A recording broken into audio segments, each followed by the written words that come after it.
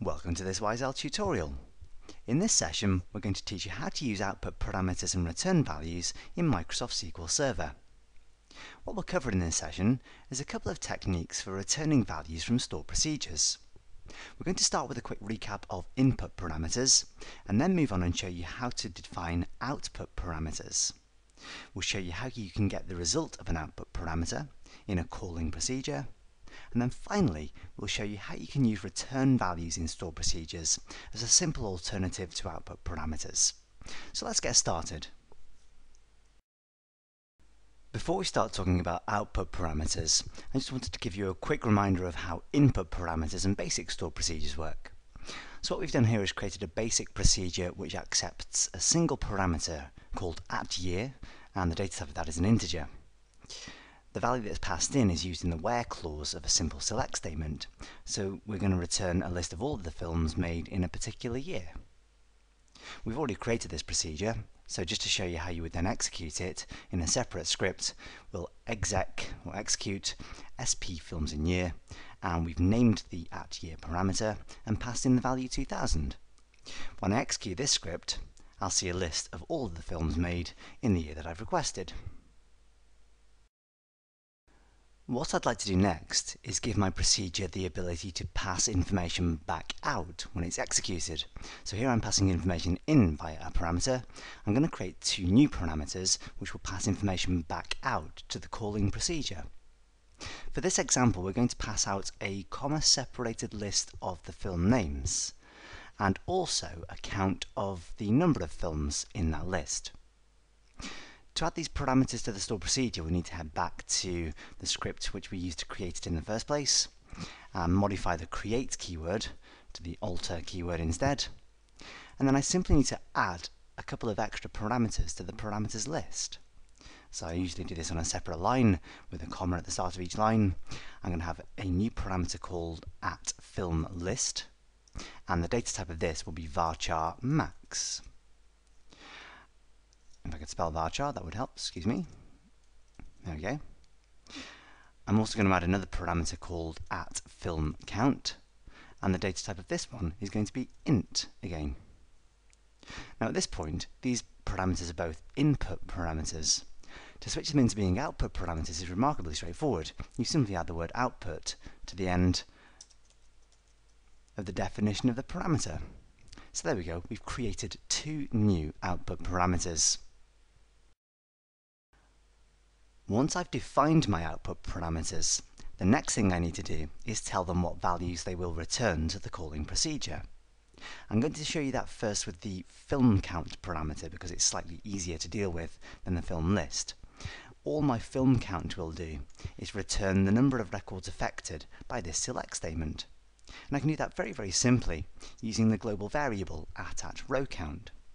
So to do this, I need to set at film count so it's a lot like using variables. You set the value of the output parameter. You set it to be equal to the value you're interested in, and in this case, it's the result of a global variable called at at row count.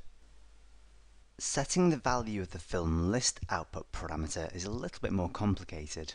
So first of all, need to build the list within the select statement. So in order to make this work, I'm going to declare a variable in my store procedure in which I'll store the list of films and then transfer that value into the output parameter at the end of the procedure. So I'm going to declare at films, I can't think of a more sensible name than that, and the data type will be varchar max again, and then I can set the initial value of this parameter, sorry, this variable, to be equal to an empty string. If I don't initialize my variable, it retains a value of null to begin with, and that's going to affect what I'm going to try to do here in the select statement. What I'm going to do is build my list by saying select at films equal to at films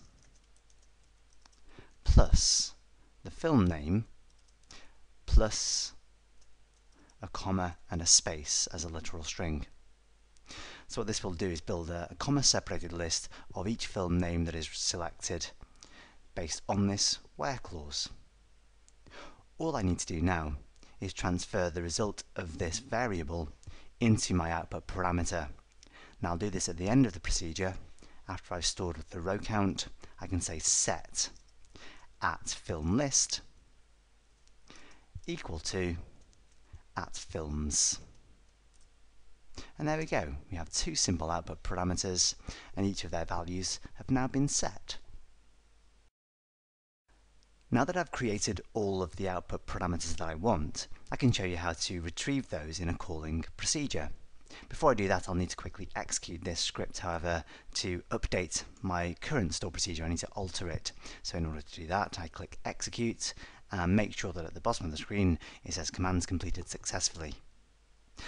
I can then return to um, a script that I created earlier on, which will execute this store procedure, uh, and this was with the original input parameter. Now that I've added two further parameters to it, if I try to execute it again, it's not going to work. Um, my output parameters are both compulsory, because I haven't made them optional. So in order to use my output parameters, I need a couple of um, variables into which the outputs will go. So I'm going to declare a variable called at names, and that'll be varchar max, and that's going to hold the comma separated list of film names. I'm also going to declare the uh, a variable called at count, and that's going to be an int, and that's going to hold the count of the films returned.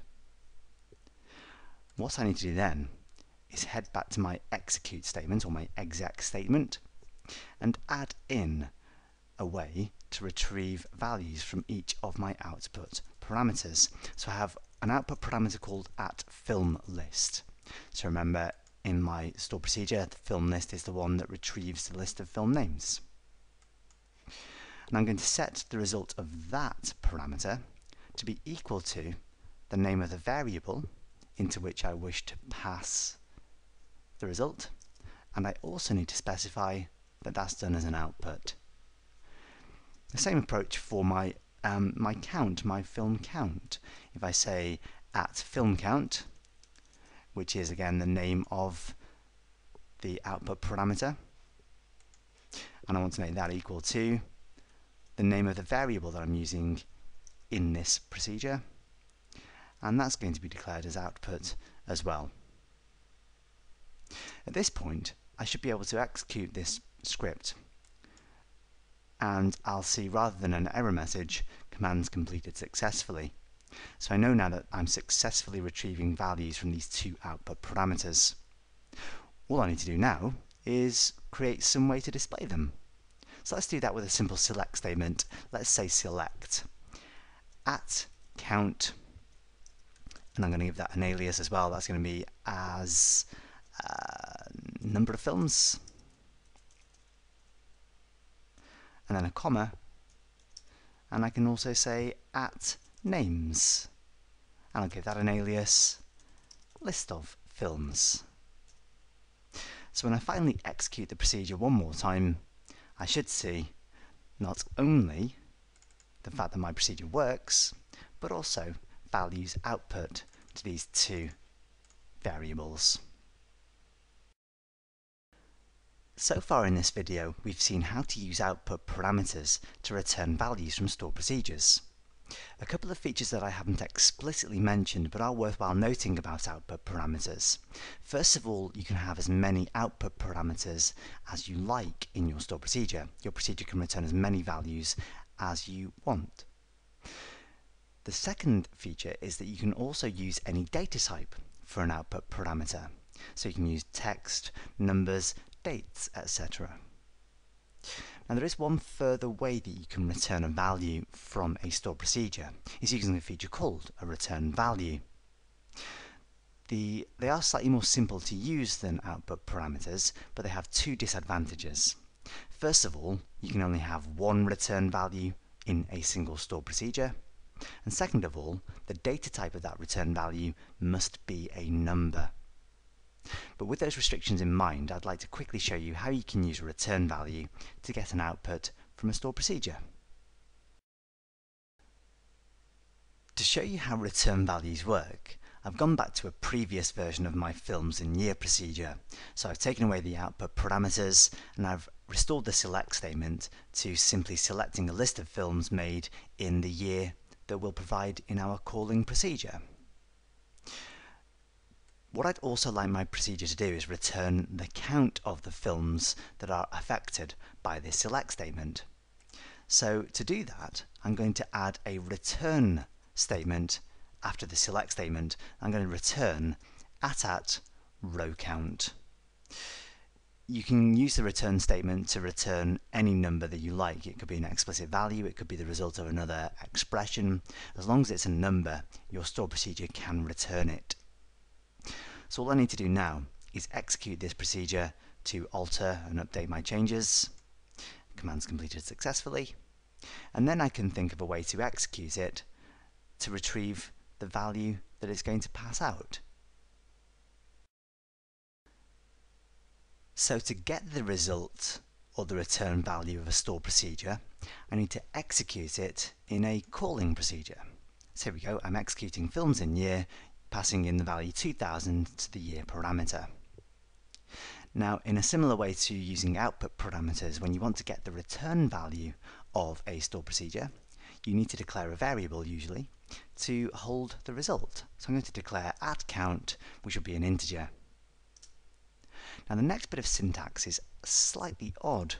In the execute statement, we're going to exec the name of the, um, the variable that I've just created, and make that equal to the result of this store procedure. All I need to do now is display that information somewhere and I can do that with maybe a simple select statement. So I'm going to say select at count and I'm going to give that an alias as uh, number of films let's say. And there we go. So if I execute this calling procedure I should see two sets of results this time, not just the list of film names, but also the result of my return statement as well. If you've enjoyed this training video, you can find many more online training resources at www.wiseowl.co.uk.